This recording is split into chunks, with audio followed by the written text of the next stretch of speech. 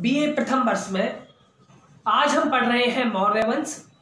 मौर्य वंश में चंद्रगुप्त मौर्य को हमने पढ़ा।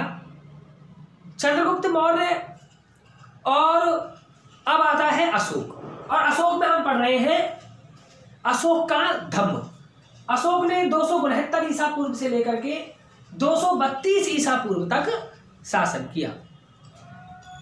चंद्रगुप्त मौर्य मौर्य वंश का संस्थापक था। चंद्रगुप्त मौर्य के बाद शासक बना बिंदुसार और बिंदुसार के बाद शासक बना सम्राट अशोक, जिसने दो से 232 ईसा पूर्व तक शासन किया। सम्राट अशोक ने युद्ध की नीति का परित्याग करके कलिंग के युद्ध में जब उसने भीषण नरसंहार को देखा तो कलिंग के युद्ध के पश्चात उसने युद्ध की नीति का परित्याग करके धम्म की नीति को अपनाया। तो आज हमारा क्वेश्चन बनता है कि अशोक का धम्म क्या है? विवेचन कीजिए। तो अशोक का धम्म। अशोक के अभिलेखों में धम्म शब्द का उल्लेख मिलता है। अशोक के धम्म के विषय में विद्वानों में मतभेद है, तीव्र मतभेद है। डॉक्टर फिलीट के अनुसार अशोक का धम्म राजधर्म था। डॉक्टर राधा कुमुद मुखर्जी ने इसे मानव धर्म अथवा विश्व धर्म माना है। अशोक का व्यक्तिगत धर्म बौद्ध धर्म था, परंतु उसने अपनी प्रजा की नैतिक तथा आध्यात्मिक उन्नति के लिए कुछ नैतिक सिद्धांतों का प्रचार प्रसार किया, जिन्हें सामूहिक रूप से अशोक का धम्म कहा जाता है। अब क्वेश्चन बनता है कि धम्म क्या है? धम्म क्या है? तो सम्राट अशोक अपने दूसरे शिलालेख में स्वयं से पूछता है कि कियम जो धम्मे, अर्थात धम्म क्या है? फिर वह स्वयं ही उत्तर देता है कि उपानी, उपासी नवे बहु कंठाने दयादान सचे सोचे। मतलब उपासी नवे बहु कंठाने मतलब पापहीनता बहु कल्याणे बहु कल्याण मतलब बहुत लोगों का कल्याण। और दयादान सत्य और शुद्धि मतलब पाप रहित होकर बहु कल्याण करना, दया करना, दान देना, सच्चाई और पवित्रता का जीवन अपनाना, यही धम्म है। अब अशोक के धम्म के सिद्धांत। अशोक के धम्म के जो सिद्धांत हैं, उनको दो भागों में बांटा गया है। निर्देशात्मक सिद्धांत और निषेधात्मक सिद्धांत। निर्देशात्मक जो सिद्धांत है, उनमें सबसे पहले आता है शुश्रूषा। शुश्रूषा मतलब माता पिता गुरु और बड़े लोगों की, अपने से बड़े लोगों की सेवा करना। दूसरे नंबर पे आता है मार्गवम।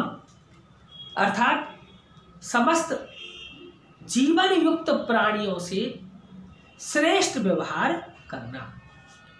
तीसरे नंबर पे आता है प्राणानाम। मतलब जीव जंतुओं के प्रति अहिंसा की भावना रखना। चौथे नंबर पे आता है संप्रतिपत्तम। अर्थात सन्यासियों, भिक्षुओं, ब्राह्मणों आश्रितों, सेवकों और दीन दुखियों से श्रेष्ठ व्यवहार करना। और पाँचवें नंबर पे आता है दान। अर्थात वृद्धों, मित्रों, साधु, साध्वियों, सन्यासियों और जरूरतमंदों के प्रति उदारता की नीति तो ये तो थे अशोक के धम्म के निर्देशात्मक सिद्धांत।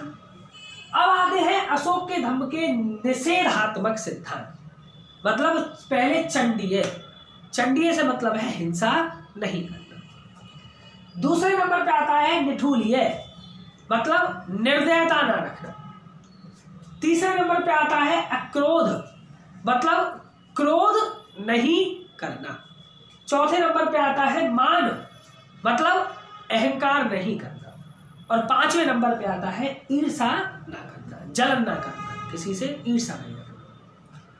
इस ये तो थे अशोक के धम्म के निर्देशात्मक और निषेधात्मक सिद्धांत। निर्देशात्मक सिद्धांतों में सुश्रुता मार्दवम प्राणायाम संप्रतिपत्तिम और दान। और निषेधात्मक सिद्धांत में चंडीय निठूलीय अक्रोध, मान और ईर्षा ना करना। अब आता है धम्म के, अशोक के धम्म के अन्य सिद्धांत, जिनमें सबसे पहले है धर्म दान। अशोक ने अपने धम्म के अंतर्गत इस बात पर बल दिया कि मनुष्य को ब्राह्मणों, भिक्षुओं दीन दुखियों आदि को दान देना चाहिए तथा इनके साथ उदारता का व्यवहार करना चाहिए। दूसरे नंबर पर आता है अहिंसा। अशोक ने अहिंसा के पालन पर बल दिया। अशोक ने पशु पक्षियों के वध पर प्रतिबंध लगा दिया तथा हिंसात्मक यज्ञों को बंद करवा दिया। तीसरे नंबर पर आता है धम्म मंगल अशोक के अनुसार मनुष्य को धर्म मंगल अर्थात सच्चे रीति रिवाजों का पालन करना चाहिए, तथा पुत्र जन्म, विवाह, यात्रा आदि के अवसरों पर किए जाने वाले अनुष्ठानों का त्याग करना चाहिए। अब है अशोक के धर्म की विशेषता। कि अशोक के धर्म की क्या विशेषता है? अशोक का धर्म मानवतावादी तथा सदाचार प्रधान धर्म था, जो जन कल्याण की भावना से प्रेरित था। अशोक का धर्म सर्वव्यापक था, जिसमें पशु पक्षियों, मनुष्यों, जलचरों आदि सभी जीवों के कल्याण के प्रति समर्पण का भाव मिलता है। डॉक्टर राधा कुमुद मुखर्जी के अनुसार अशोक ने एक विश्व धर्म का प्रारूप प्रस्तुत किया और इतिहास में ऐसा करने वाला वह पहला व्यक्ति था। तो ये था अशोक का धर्म।